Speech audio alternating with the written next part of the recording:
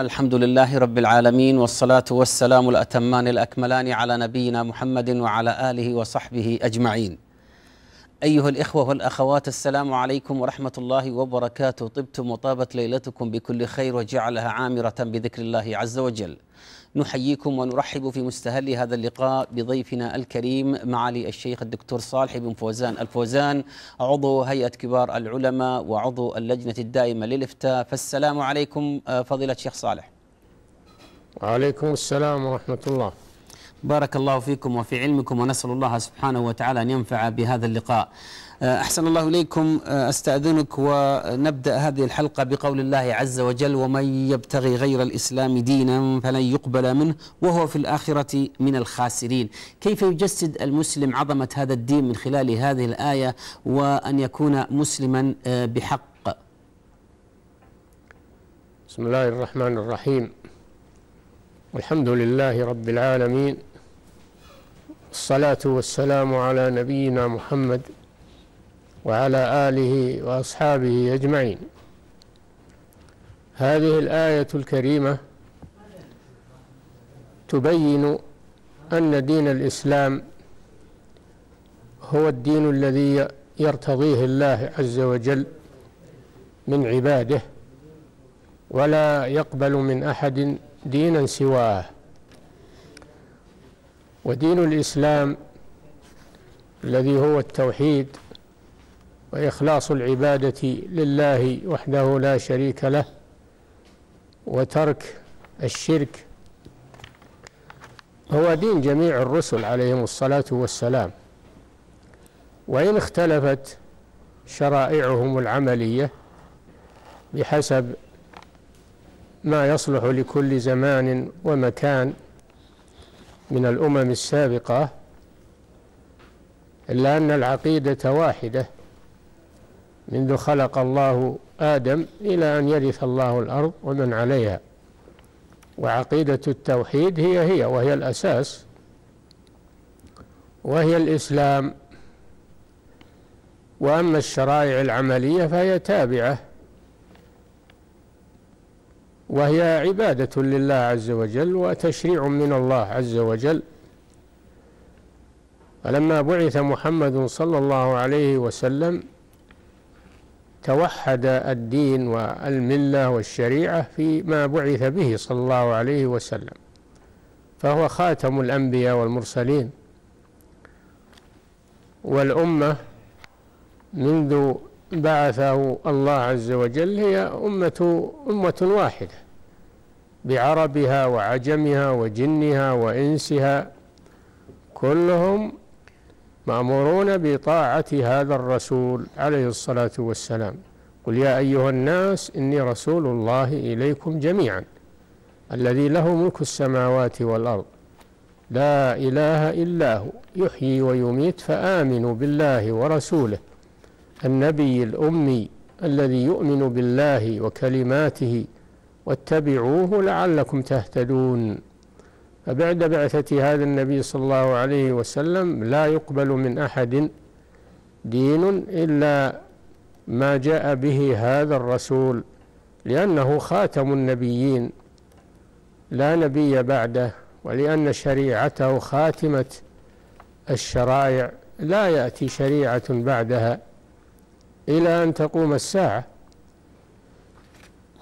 ولهذا قال سبحانه وتعالى وما أرسلناك إلا رحمة للعالمين.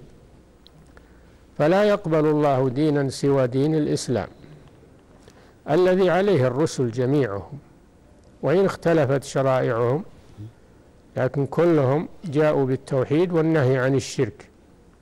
فمن يقبل دينا غير هذا الدين دين الأنبياء ودين محمد صلى الله عليه وسلم الخاتم فإن الله لا يقبل منه.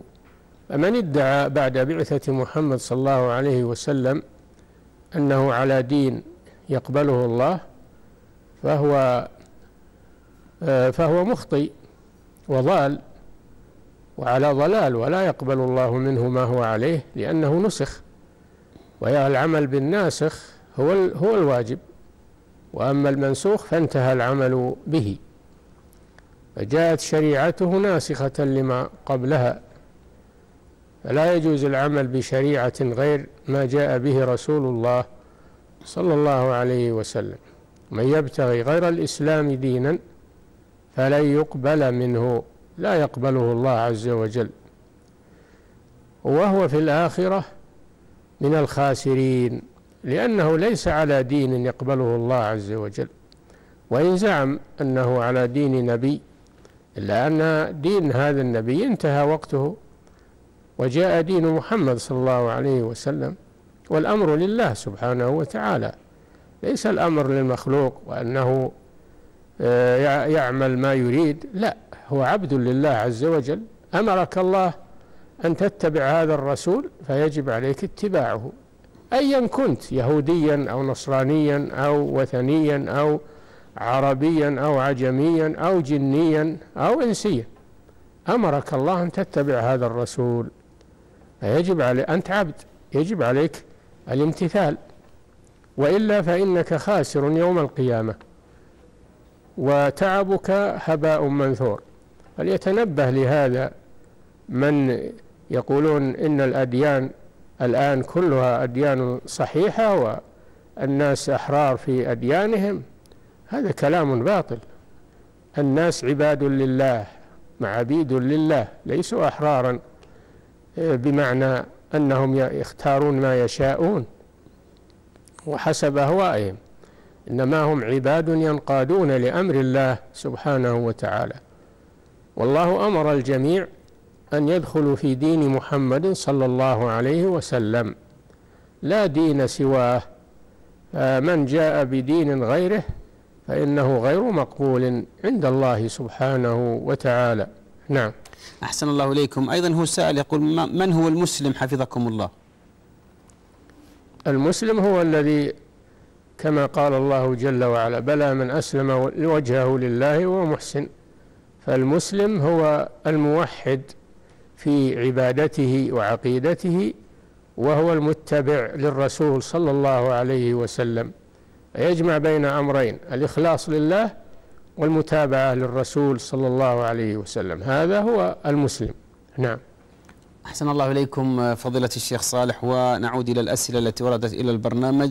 آه هذا أبو سامي من الخرج يقول ما هو آه العلاج للذي آه أصيب بالغم والكرب والحزن والأمراض البدنية؟ وعلاج القلق والوسوسة والعين والسحر.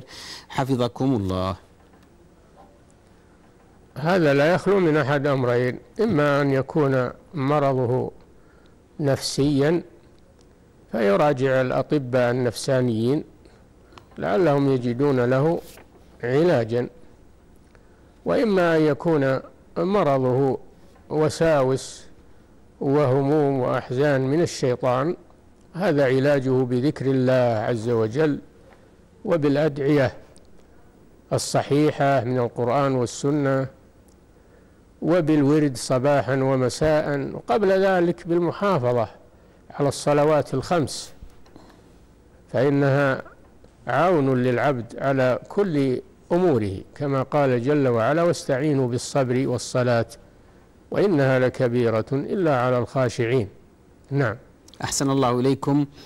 أه محمد من جدة يقول أه ما حقيقة الاعتصام؟ من خلال قوله عز وجل واعتصموا بحبل الله جميعا ولا تفرقوا. حقيقة الاعتصام هي التمسك بكتاب الله وسنة رسوله صلى الله عليه وسلم. هذا حبل الله. حبل الله كتابه وسنة رسوله صلى الله عليه وسلم. والله أمرنا أن نعتصم بحبل الله وأن نكون جميعا نهانا عن التفرق. بل نعتصم مجتمعين بهذا. كما في الحديث إن الله يرضى لكم ثلاثا أن تعبدوه ولا تشركوا به شيئا وأن تعتصموا بحبل الله جميعا ولا تفرقوا وأن تناصحوا من ولاه الله أمركم. هذا هو الاعتصام بحبل الله جل وعلا. ونكون جميعا على هذا الحبل لا نشذ بآراء أو أو مذاهب أو أفكار أو غير ذلك. نعم. أحسن الله إليكم. أبو سلطان من القصيم يسأل بارك الله فيكم يقول ورد الفضل في الصلاة على الرسول صلى الله عليه وسلم يوم الجمعة. هل يشمل هذا ليلة الجمعة أم فقط في يوم الجمعة؟ نعم يشمل ليلة الجمعة ويوم الجمعة. يكثر من الصلاة والتسليم على الرسول صلى الله عليه وسلم. والصلاة والسلام عليه مشروعة في كل وقت لكنها تتأكد في بعض الأوقات مثل هذا اليوم العظيم يوم الجمعة. نعم. أحسن الله إليكم. آه هذه رسالة من أم محمد من آه تبوك تقول آه كيف أستحي من الله حق الحياء بارك الله فيكم. إذا حفظ الرأس وما وعى والبطن وما حوى وتذكر الموت والبلا فقد فقد استحيا من الله حق الحياة كما في الحديث. نعم. أحسن الله إليكم. آه هذا يس يسأل بارك الله فيكم. آه سوء الظن لا شك أنه من أمراض القلوب فما حقيقته وأسبابه وطرق علاجه. سوء الظن منهي عنه. وبعضه أشد من بعض فسوء الظن بالله عز وجل هذا كفر. سوء الظن بالله عز وجل هذا كفر. وكذلك سوء الظن بالناس الأبرياء. الأصل في المسلم السلامة والحمد لله فيحسن الظن بأخيه ولا يسيء به الظن لأن المسلم الأصل فيه الخير والأصل فيه العدالة. ما لم يتبين فيه خلاف ذلك. نعم. معنا اتصال الأخ عادل من جدة. حياك الله. هلا حبيبي. سم. السلام عليكم. وعليكم السلام. آه عندي سؤال حبيبي. ما هو؟ آه السؤال حبيبي جات جت لي وظيفة آه مرتب وقالوا لي وانت قاعد في البيت يجيك الراتب يجيك وانت قاعد في البيت. أي. حبيت استفسر عن السؤال شكرا يا عادل. تفضل يا شيخ. لا هذا لا يجوز. إذا لم تؤدي عملا فلا يحل لك المرتب. وهم يقصدون بهذا التستر من جهة الحكومة لأن الحكومة فرضت عليهم توظيف السعوديين فيوظفونهم ظاهرا وتقية ويعطونهم دراهم ويقولون وظفناهم. والأمر ليس كذلك الموظفون غيرهم وإنما يعطونهم هذا الشيء حتى يقولوا وظفنا السعوديين. نعم. أحسن الله إليكم. هذا السائل يقول هل يجوز لي أن أصلي النافلة أربع ركعات متواصلة؟ في النهار لا بأس والأفضل أن يصلي كل ركعتين بتسليم هذا هو الأفضل. وأما في الليل فصلاة الليل مثنى مثنى. ما ما تقرن أربع ركعات بل يسلم من كل ركعتين كما كان النبي صلى الله عليه وسلم. نعم. أحسن الله إليكم. ننتقل إلى أسئلة من الأخ صالح من الدمام. يقول الوالد متوفى من أيام هل يجوز أن أكثر من الاستغفار؟ وبعدها أقول اللهم اجعل أجر ما قلته لأبي كما في قول الرسول صلى الله عليه وسلم ولد صالح يدعو له. نعم الاستغفار للوالد أو لغيره من المسلمين واستغفر لذنبك وللمؤمنين والمؤمنات. والاستغفار للوالدين في الدرجة الأولى لأن هذا من البر بهم فاستغفر له وأكثر من الاستغفار له طلب المغفرة له وادعو له بالرحمة وادعو له بالعفو وادعو له بالجنة أكثر من الدعاء له. نعم. أحسن الله إليكم. هذا يسأل حفظكم الله. يقول هل تجب علي الزكاة حيث أنني علي قروض عقارية وأيضا قروض شخصية؟ نعم إذا توفر لديك مال يبلغ النصاب فأكثر وحال عليه الحول وجبت فيه الزكاة.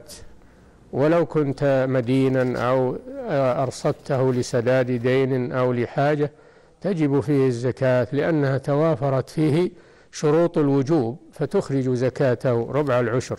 نعم. معنا اتصال إبراهيم من الحوطة. تفضل. مساء الخير أستاذ خالد. مساء الخير فضيلة الشيخ صالح. حياك الله. تفضل. حياك الله مساك الله بالخير. مساك الله بالنور أنا عندي سؤال بس فقط يعني أبي الشيخ بس آه، يعني يتكلم قليلا مثلا تفضل. الآن يعني الأمطار أسباب منع القطر الآن على العباد، بعض الناس الآن يدعون مثلا يقول لا استجابوا لنا ولا ينزل علينا القطر وكذا. طيب. لو عرج الشيخ لو بشكل مختصر عن أسباب منع القطر. شكرا يا إبراهيم. بارك الله فيك. تفضل يا شيخ. أولا لا يجوز القنوط من رحمة الله. مهما صدر منا من الذنوب فإننا لا نيأس من رحمة الله ولا نقنط من رحمة الله. ومن يقنط من رحمة ربه إلا الضالون. والله كريم وغفور رحيم. وأما امتناع القطر فالغالب أنه بسبب الذنوب والمعاصي ظهر الفساد في البر والبحر بما كسبت أيدي الناس ليذيقهم بعض الذي عملوا لعلهم يرجعون. ومن أعظم أسباب منع القطر منع الزكاة. ما منع قوم زكاة أموالهم إلا منعوا القطر من السماء ولولا البهائم لم يمطروا. فليحذر المسلمون من هذا ليصلحوا أحوالهم. ويستسقوا ويطلبوا من ربهم الغيث والله قريب مجيب سبحانه وتعالى. نعم. معنا اتصال آه، عبد الرحمن من الرياض. نعم. السلام عليكم. عليكم السلام ورحمة الله. السلام. ممكن اكرم الشيخ. سم تفضل الشيخ عبد الصالح يسمعك. تفضل. يا شيخ في حنا شائعة منتشر عندنا في السعودية. مثل الحلف بعلي بالطلاق وعلي بالحرام وعلي بالحلال. فما أدري العالم منتشر وعلي بالحرام. ووجه الله يا وجه الله. هو وش في سؤال آخر؟ الحكم و- عندك سؤال آخر؟ يا وجه؟ الله ما سلامتك. شكرا. تفضل يا شيخ. يا وجه الله ما يجوز. لا تدعى الصفة وإنما يدعى الله سبحانه ويتوسل إليه بأسمائه وصفاته. وأما الحلف بالطلاق وبالحرام وب هذا أمور لا تنبغي لأنها خطيرة. بحيث تفوت قد تفوت على المرء زوجته وت- وتبين منه وتطلق منه فيترك هذه الأمور. وسمي الحلف بالطلاق آه، وسمي الحلف بالطلاق لأن لأنه علق شيئا على الطلاق مثل ما يعلق على اليمين. وإلا فهي ليست من من الحلف بغير الله عز وجل وإنما هي تجري مجرى الحلف بالله لأنه إذا علق شيئا على حصول شيء أو على امتناعه فهذا هو معنى الحلف بالله عز وجل. فيتجنب المسلم هذا من ناحية أنه قد يخل بالزوجية فيفرق بينه وبين زوجته. نعم. أحسن الله إليكم. هذا يسأل يقول هل توقع هطول الأمطار في قادم الأيام يعتبر من الغيبيات؟ لا هم يذكرون هذا من باب أدلة في الجو. نعم. عندهم أدلة في الجو ينظرون إليها ويتوقعون الأمطار ولا يجزمون. الجزم لا يجوز لكن يتوقعون من خلال آه، المراصد الجوية بعلامات تكون في الجو. أنه يمكن تنزل أمطار. نعم. نعم آه، سعد من الرياض يقول وجدت سيارة في المعرض ولا أملك قيمتها. آه، قلت لصديق لي آه، اشتري اشتر هذه السيارة وقسطني إياها بمبلغ أعلى. هل هذا جائز؟ إن اشتراها لك وسلم ثمنها نيابة عنك واسترده بزيادة فهذا قرض. قرض محرم. وأما إن اشتراها لنفسه وتملكها تملكا تاما ثم باعها عليك فإن هذا يجوز سواء كانت مقسطة أو حالة. نعم. هذا بدر من الرياض يقول حفظكم الله أحد العمالة المنزلية في بيتنا من الله عليه بالإسلام. لكن ما هي الأشياء والأساسيات التي أستطيع من خلالها إعلامه وتعليمه دينه؟ تذهب به إلى إلى المكاتب مكاتب التوعية وتوعية الجاليات وهي كثيرة ولله الحمد. تذهب به إلى القائمين على توعية الجاليات وهم عندهم إجراءات وعندهم كتب وعندهم ما يبين لهذا ال- المسلم الجديد أحكام الإسلام. جزاهم الله خيرا. نعم. معنا اتصال عبد اللطيف من الرياض. نعم. ألو؟ نعم. السلام عليكم. السلام. وعليكم السلام ورحمة الله وبركاته. سم تفضل. كل عام وانت بخير. وأنت بخير إن شاء الله دايم. تفضل. أبغى الشيخ الله يطول عمرك. يسمعك سؤالك. سؤالي عن بدل الحج. عن بدل؟ الحج هل يمكن أوكل واحد شخص لشخصين؟ طيب في سؤال آخر؟ لا لا سلام. تفضل الشيخ أولا أولا يا أخي آه، كل عام وأنتم بخير هذه لا تليق لأنها لأن بداية العام الهجري ليست من الأعياد التي يهنأ بها وإنما هذا شيء اعتاده الناس وهو لا لا أصل له. ثانيا الحج نيابة عن الحج إنما تكون عن شخص واحد ولا تجوز عن أكثر من شخص فإذا أردت أن تنيب عن شخصين أو أكثر فتنيب عن واحد في هذه السنة ثم تنيب عن الثاني في السنة القادمة وهكذا. أو تأتي بعدة أشخاص لا شخص واحد تأتي بعدة أشخاص وتنيب كل واحد منهم عن شخص. نعم. أحسن الله إليكم. هذا يسأل يقول هل يوجد فرق بين قراءة الأذكار غيبا وبين قراءتها من كتيب من ناحية الأجر وخاصة عند الطواف؟ المدار على النية والقصد نعم. سواء قرأتها من كتاب أو دعوت بها عن ظهر قلب. المدار على النية والإخلاص لله عز وجل ولكن إذا قرأت من كتاب فاختر الكتاب الصحيح الذي يعرف مؤلفه وكاتبه والأحاديث التي فيه تكون أحاديث صحيحة مخرجة. نعم. من أسئلة أبو عبد العزيز أيضا يسأل يقول هل يجوز أن أدخل كتيب أدخل كتيب الأذكار في دورة المياه أكرمكم الله وفيها آية الكرسي والمعوذات؟ يكره دخول الخلاء بشيء فيه ذكر الله عز وجل وإذا كان هذا من القرآن فهو أشد كراهية. فلا تدخل محل قضاء الحاجة بشيء فيه ذكر الله إلا إذا خفت عليه أنه يسرق أو يضيع فلا بأس أن تدخل به وأن تحتفظ به في جيبك. نعم. معنا اتصال أبو عبد العزيز من الرياض. حياك الله. أبو عبد العزيز. السلام عليكم ورحمة الله. وعليكم السلام ورحمة السلام. الله وبركاته. نعم. كيف حالك يا شيخ؟ طيبين؟ حياكم الله. عندي سؤالين بارك الله فيك. السؤال الأول يا شيخ الحين المحرم آه، ممنوع عليها الطيب. فالحجر الأسود آه، فيه طيب كثير الإنسان لما يمسحه يكون فيه طيب يده. هل هذا يعني ينقض آه، الإحرام ولا شيء شيخ؟ والسؤال الثاني؟ السؤال الثاني طال عمرك الحين الميت لما يموت قريب مثلا لي وأزوره بعد شهر في قبره آه، مثلا أدعيه لو زي كذا لكن إذا قريت عنده قرآن هل يصل يصل ثوابه أو هديه إليه يوصل الثواب لعنده طيب شكرا لك بارك الله فيك. تفضل يا شيخ. أولا المحرم يتجنب الطيب في في بدنه وفي ملابسه. فلا يحدث طيبا بعد ما يحرم. أما كونه يشم طيب من غيره أو من الحجر الأسود هذا لا يضر. هذا لا يضره لأنه لم يتطيب. وأما السؤال الثاني قراءة القرآن عند الميت؟ قراءة. القرآن عند الميت قراءة القرآن عند الميت أو في المقبرة بدعة لا أصل لها لأنها لم يرد بها دليل. إنما الذي ورد الدعاء للأموات.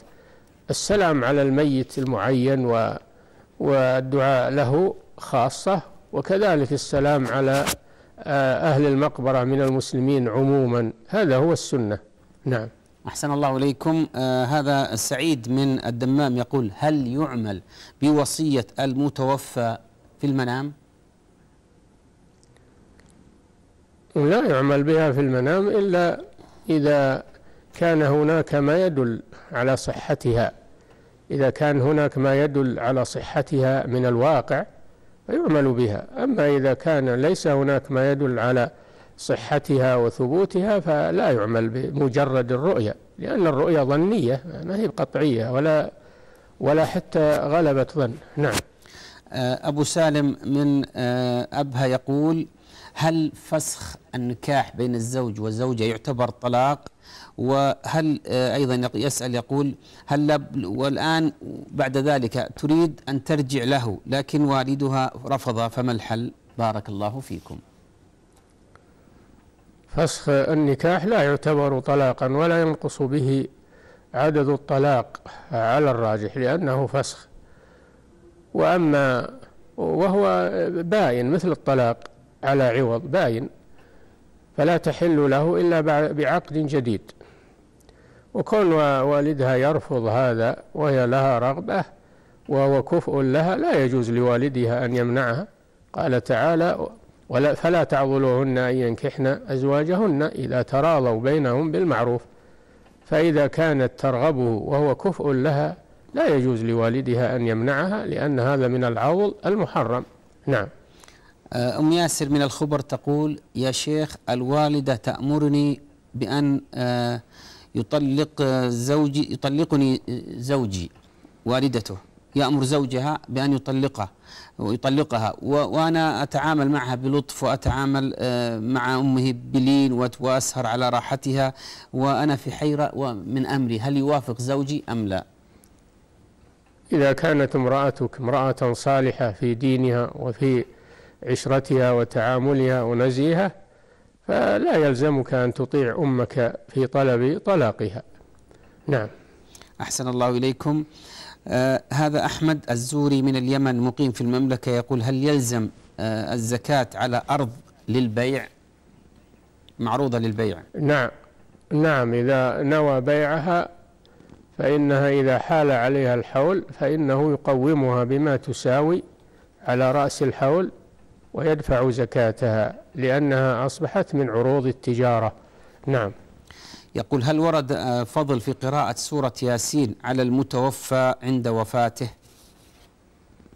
ورد لكنه لم يثبت عن الرسول صلى الله عليه وسلم. فيه حديث ضعيف. لم يثبت عن الرسول صلى الله عليه وسلم فلا تشرع قراءة ياسين على الميت ولا حتى على المحتضر. إنما يلقن الميت لا إله إلا الله.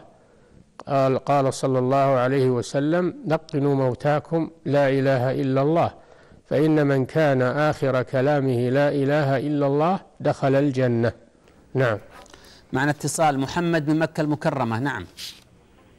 ألو؟ نعم. السلام عليكم. وعليكم السلام عليكم ورحمة الله. السلام. أبغى أسأل يا شيخ أنا بالحجه الحج. أيوه بس في مزدلفه إلى الساعة 12 وطلعت إلى منى لرمي الجمر وحدك ولا معك أحد؟ لا واحد تفضل يا شيخ. شكرا يا محمد.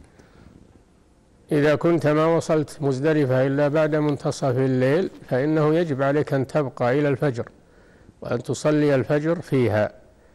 أما مجرد المرور فلا, فلا يكفي هذا ويكون عليك فدية لأنك تركت الواجب عليك من المبيت في مزدلفة. نعم. أحسن الله إليكم. هذا طلال من جدة يسأل بارك الله فيكم. يقول هل يجوز لامرأة أن تهب نفسها لرجل؟ نعم إذا كان كفءا لها إذا كان هذا الرجل كفءا لها في دينه وفي آه، صلاحيته لها فلها أن تعرض عليه أن يتزوجها. ولو بواسطة شخص توصيه أن يقول له كذا وكذا. هذا شيء طيب. نعم. أحسن الله إليكم. آه هذا يسأل حفظكم الله يقول حكم التوفيق بين الزوجين بالسحر. نعوذ بالله من ذلك. لا يجوز استعمال السحر لا للجمع بين الزوجين ولا لتفريق الزوجين ولا غير ذلك لأن السحر تعلمه وتعليمه والعمل به كفر بالله عز وجل فلا يجوز تعاطيه. وهو منكر عظيم يجب إنكاره ويجب آه، الأخذ على يد من يعمل هذا الشيء برفعه إلى الحاكم الشرعي. نعم. معنا اتصال موسى من العلا. نعم. السلام عليكم. عليكم السلام ورحمة الله. والسلام كيف حالك يا أخي طيب؟ نعم. نعم. بغيت اسال الشيخ الله يخليك عن لبس الاحرام آه، آه، لبست الاحرام مثلا ركوبي بالطيارة لبست بالطيارة من دون آه، قبل وضي من دون وضوء نزلنا بالمطار وط- قبل دخلت قبل دخول الحرم كملت وضوئي ودخلت آه، الحرم. طيب في سؤال آخر؟ هل هو جائز ولا لا؟ سؤال عندك سؤال آخر؟ لا لا ما شكرا شكرا لك. تفضل يا شيخ. يا أخي يجوز الإحرام بدون وضوء. الوضوء ليس بلازم. إنما هو سنة إذا أمكن. فيجوز أن تحرم وأنت لست على على طهارة. وتكفي النية نية الدخول في النسك. نعم. وهل يلزم ركعتين عند الإحرام حفظكم الله؟ ولا يلزم ركعتان. ما يلزم ركعتان. إن كان وقت فريضة يصلي فإنه يحرم بعد الفريضة كما فعل النبي صلى الله عليه وسلم. وإن كان ليس وقت فريضة فلا يشرع ركعتان للإحرام خاصة. لكن إن نواها عن الوضوء ركعتي الوضوء هي سنة مؤكدة. نعم. أحسن الله إليكم انتقل إلى سؤال من الأخ إبراهيم من جدة. يقول ما هو التوسل المشروع والتوسل الممنوع؟ التوسل المشروع هو التوسل إلى الله بالأعمال الصالحة تقرب إلى الله بالأعمال الصالحة. وكذلك التوسل إلى الله بأسمائه وصفاته. ولله الأسماء الحسنى فادعوه بها. هذا هو التوسل آه، المشروع. كذلك التوسل إلى الله بالتوحيد. لا إله إلا أنت سبحانك إني كنت من الظالمين كما قال يونس عليه السلام. وكذلك التوسل إلى الله سبحانه وتعالى بحاجته وفقره. إني مسني الضر كما قال أيوب عليه السلام ربي, أن ربي إني مسني الضر وأنت أرحم الراحمين. هذا هو التوسلات المشروعة الموافقة للكتاب والسنة.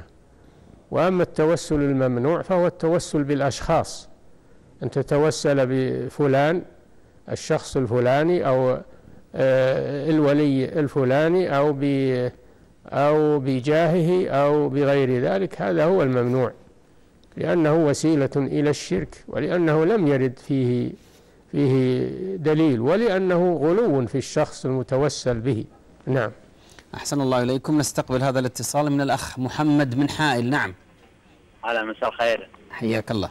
جزاك الله. أنا عندي سؤال إن أنا مسجل سجلت في الضمان الاجتماعي. أنا يعني مرض نفسي شوي.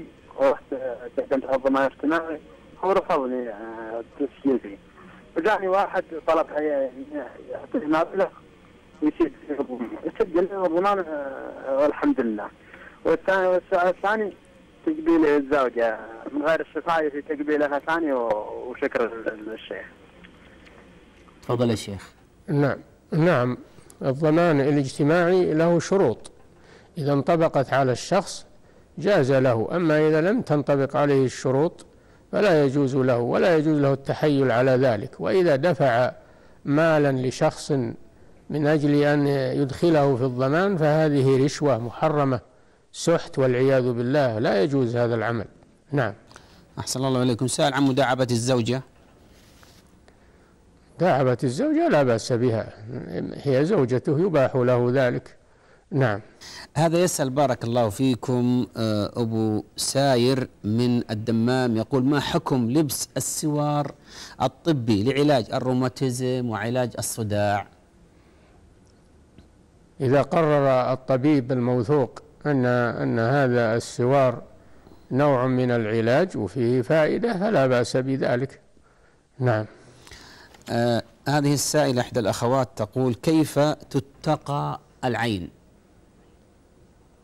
تتقى العين بذكر الله عز وجل والتوكل على الله وعدم الوساوس و وال يعني ما يعلق بالنفس من الوساوس والشكوك في الناس. تتقى العين بهذه الأمور بذكر الله. عز وجل والإكثار من ذكر الله وتلاوة القرآن حسن الظن بالله عز وجل والتوكل على الله. نعم. سؤالها الآخر تقول الاضطرابات النفسية هل تعالج بالتمائم؟ تمام لا تجوز إنما تعالج بالرقية بالرقية المباشرة بأن يقرأ عليها الراقي من كتاب الله أو أو من الأدعية الشرعية. هذا الذي ثبت عن الرسول صلى الله عليه وسلم أما التمائم فقد نهى عنها صلى الله عليه وسلم قال إن الرقى والتمائم والتو- والتولة شرك. نعم. أحسن الله إليكم. وفي آه، الحديث نعم. وفي الحديث من من تعلق تميمة من تعلق تميمة فلا أتم الله له. نعم. أحسن الله إليكم. هذه إحدى الأخوات تقول النفساء والحائض هل تدخل المسعى والمطاف؟ لا. المسعى نعم لا بأس لأنه ليس مسجدا ليس من المسجد. وأما المطاف فلا لأنه من المسجد الحرام والنفس والحائض لا تدخلان المسجد الحرام أو غيره من المساجد لأجل, لأجل الجلوس فيه واللبث فيه. أما مجرد المرور من باب ويخرج تخرج من الباب الآخر أو لتأخذ حاجة من المسجد وهي حائض أو نفسا ثم تخرج فهذا لا بأس به. نعم. معنا اتصال سلطان من حائل نعم. معنا أبو سلطان تفضل. السلام عليكم ورحمة الله وبركاته. السلام ورحمة الله. سم. آه شيخ الله يطول لي عمرك آه عن الإسلام. آه سؤالي في إحنا سمعنا طال عمرك آه سؤال وما فهمنا الإجابة الحقيقية من الشيخ. ال- السؤال آه يقول السائل أنه فيه ثلاث أخوات أو أربع له الرواتب. وعنده ساكناتهن وأمهن بيت واحد وأمهن له ضمان اجتماعي. احتمال ما يكون لهن ولي أمر. هل يجوز أنهن يسوون قطة أو جمعية عشان يسوون ضحية واحدة؟ هذا السؤال الأول. الضحية تكون من فيها أخي صدق طيب عطنا السؤال الثاني يا أبو سلطان. السؤال الثاني طال عمرك هل الدعاء لولي الأمر والعلماء والمسلمين؟ يعني على المسلم هل هو واجب أم مستحب؟ شك... أم خياري إن أراد يدعي أو ما يدعي؟ شكرا لك يا أبو سلطان. تفضل يا شيخ.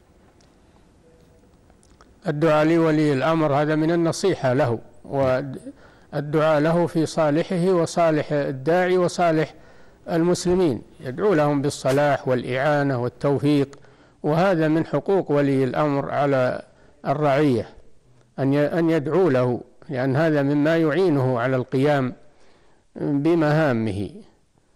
وأما قضية آه، الضمان الاجتماعي و. الأضحية. قضية الأضحية. نعم. الأضحية أنكم الأضحية تكون من واحد. نعم. يملكها واحد ويضحي بها عنه وعن أهل بيته.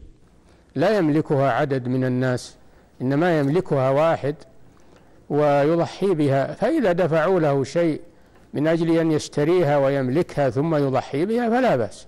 نعم. أحسن الله إليكم. هذا يقول كيف أتوب من عدم إخراج الزكاة لسنوات مضت؟ نعم. يقول كيف أتوب من عدم إخراج الزكاة لسنوات مضت؟ ما تكفي التوبة لا بد من التوبة ولا, ولا بد من إخراج الزكاة لأنها دين في ذمتك. فيلزمك أمران التوبة إلى الله عن التأخير والأمر الثاني وهو مهم جدا أن تخرج الزكاة عما مضى ولا يبقى في ذمتك منها شيء لأنها دين لله عز وجل. نعم. أحسن الله إليكم. هل ورد عن الرسول صلى الله عليه وسلم آه، آه، حي على خير العمل؟ لا هذا ليس من الأذان. نعم. هذا محدث في الأذان ولم يثبت عن الرسول صلى الله عليه وسلم الذي ثبت حي على الصلاة حي على الفلاح. هذا الذي ثبت. نعم. معنا اتصال فالح من الرياض. تفضل. السلام عليكم. السلام ورحمة الله وبركاته. السلام. تفضل يا فالح. آه، ابى أسأل الشيخ الله يطول عمرك. تفضل اسمعك. فالح فالح غزوان العنزي. ونعم نعمة حال آه، آه، أسأل الشيخ عن كنا نصلي مسجد الجمعة. إيه. وكان يصلي الأمام بالمنبر. والآن فاق صفين ورا وفي ضيق. طيب. يعني آه، يجوز إحنا صلينا يجي 15 سنة قدام. هو قدام وحنا نصلي وراه. والحين فيها سيدين يطلعوا لهم 100 مصلي قدام. نعم إيش السؤال؟ وسؤالك يا يعني يعني إنه يجوز فاق وراء المصلين ولا يقدمهم قدام مثل اول؟ الإمام؟ إيه. يصلي. طيب. تفضل. شكرا يا فالح. تفضل يا شيخ. يا أخي الإمام يكون أمام المصلين ولا يك ولا يكون, يكون وراءهم أو يكونون قدامه. ما لا يجوز هذا في جهته. أن يكونوا أمامه في جهته بينه وبين القبلة؟ هذا لا يجوز. نعم. ولا تصح الصلاة في مثل هذا. نعم. نعم بارك الله فيكم. آه هذا يقول حفظكم الله. آه بالنسبة للمسافر لمئة كيلو تقريبا يوميا هل له أن يجمع ويقصر؟ نعم هو أولى بالرخصة من غيره لأنه نعم. يتكرر ويحتاج إلى الرخصة أكثر من غيره فيجمع ويقصر في الطريق ذهابا وإيابا. نعم. أحسن الله إليكم. ما هو ضابط الجمع والقصر في حال المطر؟ أن أن يكون المطر آه، كثيرا يبل الثياب يتأذى به الإنسان بينه وبين المسجد أو يخلف المطر دحضا وطينا بينه وبين المسجد. فبهذا يجوز الجمع بين المغرب والعشاء. نعم. معنا اتصال. ناصر من أبها تفضل. ألو؟ نعم. ألو؟ نعم نعم. السلام عليكم ورحمة الله وبركاته. وعليكم السلام ورحمة الله. سؤالك؟ هل يجوز يا شيخنا الحبيب هل يجوز للمرأة زيارة قبور الموتى؟ طيب شكرا لك بارك الله فيك. شكرا يا ناصر تفضل يا شيخ. لا يجوز للنساء أن تزور القبور لأن هذا قد لعن النبي صلى الله عليه وسلم زوارات القبور والمتخذين عليها المساجد والسرج فالمرأة لا تزور القبور وإنما تدعو للأموات. وهي مارة مع الطريق أو تدعو لهم في بيتها أو في أي مكان. وأما زيارتها للقبر أو للقبور فهذه حرام وهي كبيرة لأن الرسول صلى الله عليه وسلم لعن من فعلت آه، ذلك. واللعن لا يكون إلا على كبيرة من كبائر الذنوب. نعم. نعم معنا اتصال أبو عبد العزيز من الرياض. طيب يا شيخ لو سمحت الله يحفظك السلام عليكم ورحمة الله. وعليكم السلام ورحمة الله. سلام آه الأهل لما يروحوا عند طبيب دكتوره الاسنان وهي صائمة تسوي لها بنج البنج هذا يفطر يا دكتور يا شيخ؟ في سؤال آخر؟ لا بارك الله شكرا يا أبو عبد العزيز. تفضل يا شيخ. البنج الموضعي ما ي- ما يؤثر على الصيام. البنج الموضعي في الأسنان ما يؤثر على الصيام ولكن تلفظ لا يخ- يذهب إلى جوفها شيء ما وهي تقدر على على لفظه. ما تتعمد لفظ الشيء وهي صائمة. نعم. أحسن الله إليكم. هذا سؤال من أحد الأخوة يقول ما هي مراتب صيام يوم عاشور عاشوراء نعم. نعم. ما هي مراتب صيام يوم عاشوراء يوما قبله أو يوما بعده؟ لا الثابت يوم قبله ويوم الثابت يوم قبله. نعم. يعني يصوم يومين يوم التاسع واليوم العاشر هذا هو الثابت. وإذا فات اليوم التاسع يصوم اليوم الحادي عشر يصوم اليوم الحادي عشر يوم بعده لئلا يتشبه باليهود في إفراده بالصوم. نعم. أبو عائشة من الطائف نعم. أبو عائشة. السلام عليكم. عليكم السلام. كيف حالك يا شيخ؟ حياك نعم. الله. سم. آه، امرأة عرم الله طال عمرك تركت ضحيتها في بيتها وحجت. ويوم عادت في اليوم الرابع عشر وعند أولادها. وقالوا طال عمرك وقالوا طال عمرك قالت لهم اذبحوها. ويوم جات معودة من الحج ما حصلتهم ما ذبحوها. ذبحتها قضاء. يعني صارت لها إمام مسجد وقال اذبحيها إن شاء الله قضاء إنه جائز هذا فهل فعلها هذا جائز يا شيخ؟ شكرا لك يا أخي الكريم. تفضل. نعم ما دامت عينتها ما دامت عينتنا عينتها أضحية وفات وقت الذبح تذبحها قضاء كما قال لها من قال. نعم. والرابع عشر آه، ليس من الأيام التشريق يا شيخ؟ يعتبر؟ الثالث عشر هو آخرها. الثالث عشر هو آخره. اي نعم. طيب هذا يسأل يقول ما حكم صيام يوم الجمعة بنية صيام الثلاثة الأيام من كل شهر؟ أم زينب من الرياض. إفراد الجمعة لا يجوز. نعم. فإذا أرادت أن تصوم تصوم الجمعة وقبله يوم أو بعده يوم. نعم. هذه إحدى الأخوات تقول زوجي لا يعطيني من النفقة هل آخذ من ماله بغير إذنه؟ إذا كان لا يعطيك النفقة الضرورية وأبى أن يعطيك وحصلت له مالا خذي قدر ما يكفيك. كما قال النبي صلى الله عليه وسلم لهند بنت عتبة خذي ما يكفيك وولدك بالمعروف. لما شكت إليه أن زوجها لا يعطيها ما يكفيها وولدها. نعم.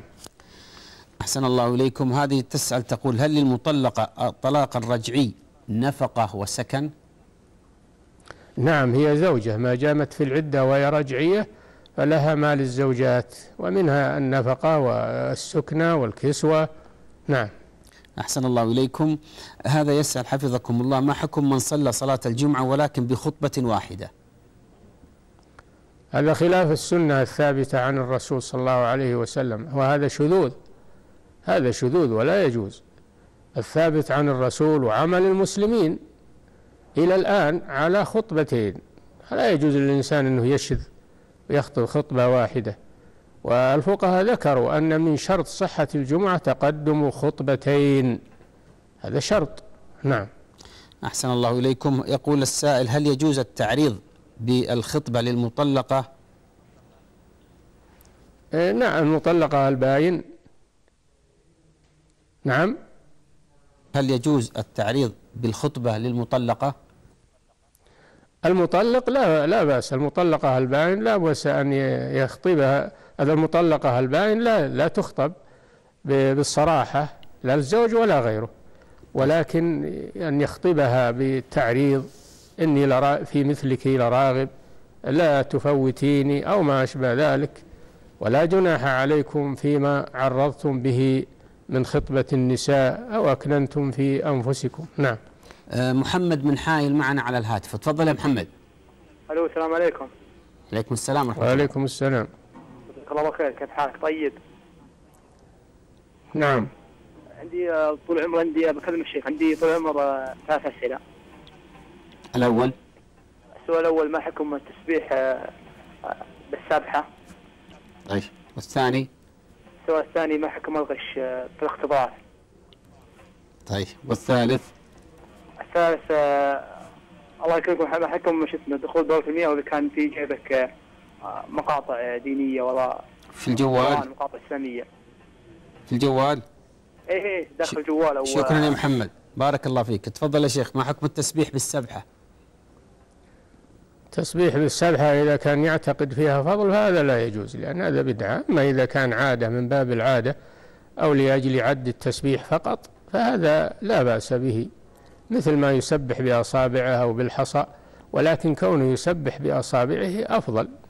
نعم. الغش بالاختبارات.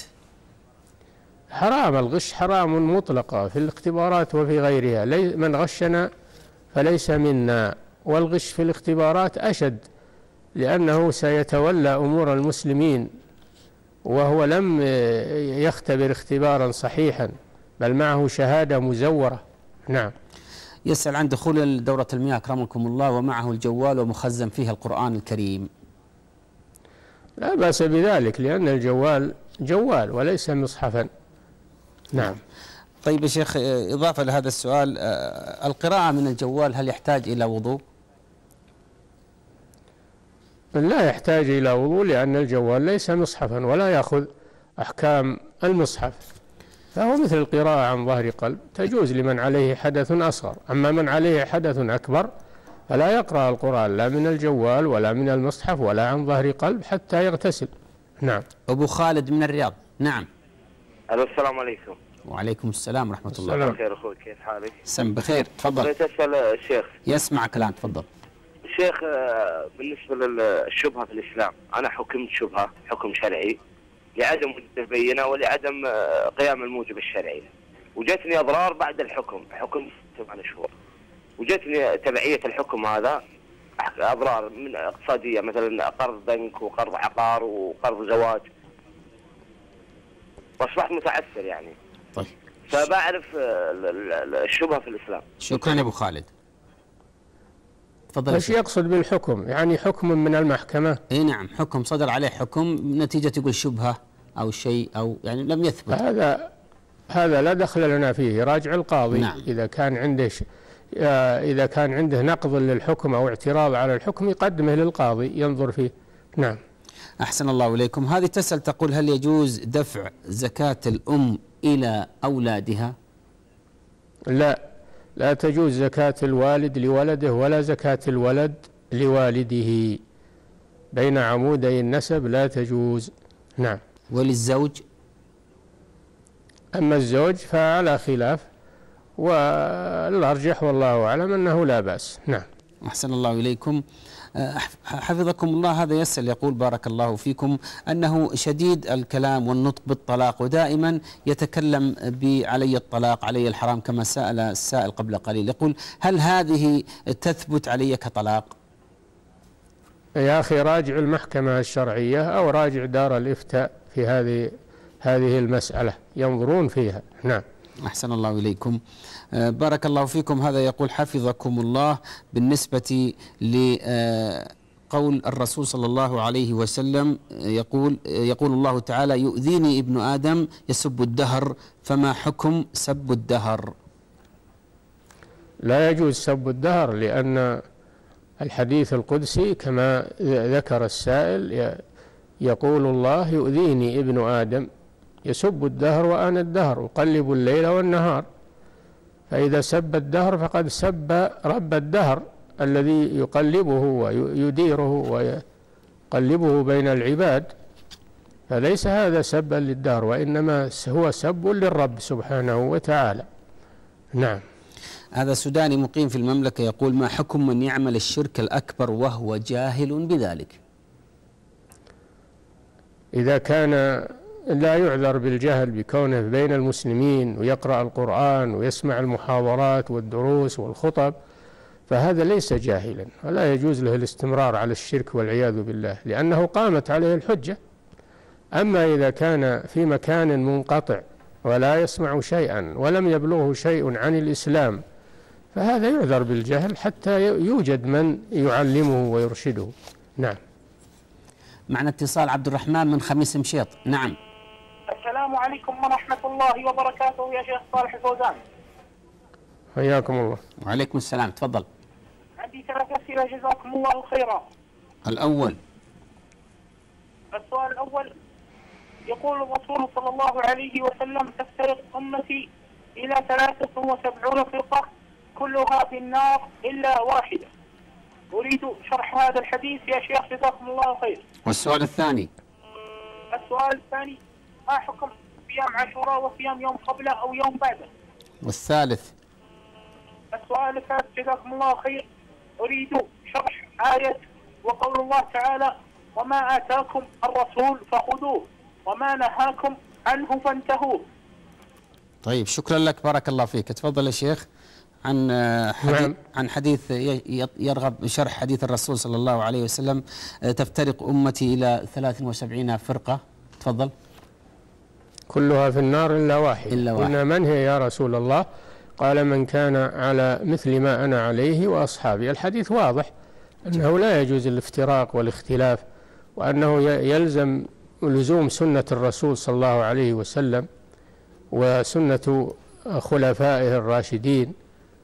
ولا يفترق مع المفترقين ويخالف مع المخالفين بل يلزم طريقة الرسول وأصحابه. هذا هو الواجب على المسلم.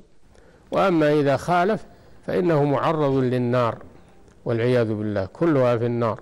نعم. سأل عن حكم صيام عاشوراء. عاشوراء سنة مؤكدة لكن لا يصام وحده بل يصام يوم قبله. هذا هو الثابت. وإذا لم يتمكن من صوم يوم قبله أو لم يتذكر يصوم يوما قبله يصوم يصوم يوما بعده وهو الحادي عشر. نعم. آه سأل عن معنى قول الله عز وجل آه وما أتاكم الرسول فخذوه وما نهاكم عنه فانتهوا. وما آتاكم الرسول فخذوه. كل ما أمر به الرسول يؤخذ وكل ما نهى عنه يترك لأن الرسول مبلغ عن الله سبحانه وتعالى. وهذا وإن كان سبب نزوله في الصدقات إلا أنه عام في كل ما أتاه الرسول من الأقوال والأفعال والتشريع فإنه يجب قبوله والأخذ به لأنه مبلغ عن الله وهذا فيه دليل على حجية السنة النبوية وأنها حجة يجب العمل بها كما يجب العمل بالقرآن. نعم. آه نختم هذه الحلقة بهذا الاتصال. أبو محمد من الرياض. نعم. السلام عليكم ورحمة الله وبركاته. وعليكم السلام ورحمة الله. حياكم الله يا شيخ. أحسن الله إليك. عندي سؤال أحسن الله إليك. يا شيخ لو تبين لنا عقيدة أهل السنة والجماعة في كرامات الأولياء. والسؤال الأخير أحسن الله إليك. والسؤال الأخير أحسن الله إليك. هل يجوز السواك للصائم؟ أحسن الله إليك. قول الراجح هذا المعنى. شكرا يا أبو محمد. بارك الله فيكم. تفضل يا شيخ. نعم كرامات الأولياء حق. إذا كانوا أولياء بالمعنى الصحيح. وهم الذين قال الله فيهم ألا إن أولياء الله لا خوف عليهم ولا هم يحزنون. الذين آمنوا الذين آمنوا وكانوا يتقون هؤلاء هم أولياء الله. وقد تجري لهم كرامات من أجل مساعدتهم إذا احتاجوا أو نحو من ذلك لحاجة لحاجة في الدنيا أو لحجة في الدين. فالله قد يعطيهم كرامات. خارقة للعادة والكرامة معناها الخارق للعادة. وهذا من الله سبحانه وتعالى إكراما لعباده المتقين. ولكن لا يجوز الغلو في الولي وإن كان له كرامات لا يجوز الغلو فيه وطلب البركة منها وغير ذلك كما يفعله المخرفون. نعم. سأل عن السواك في الصيام حفظكم الله. لا بأس بالسواك. في للصائم ولغيره لأنه سنة مؤكدة ولم يثبت في منع الصائم منه دليل. فالأصل أن السواك سنة مطلقة في أول النهار وآخر النهار للصائم. نعم. جزاكم الله خير وبارك الله فيكم وفي أقوالكم وجعل ذلك في موازين حسناتكم. شكرا لكم ونسأل الله سبحانه وتعالى أن ينفع بكم الإسلام والمسلمين. أيها الإخوة والأخوات إلى هنا ونأتي إلى ختام هذه الحلقة مع ضيفنا الكريم معالي الشيخ الدكتور صالح بن فوزان الفوزان عضو هيئة كبار العلماء وعضو اللجنة الدائمة للإفتاء. نسأل الله العلي القدير أن ينفعنا بما سمعنا وأن يجعلنا وإياكم من الذين يستمعون القول فيتبعون أحسنه. في الختام هذه تحية من الزملاء هنا وهناك وأيضا من المخرج أحمد السويدان. والسلام عليكم ورحمة الله وبركاته.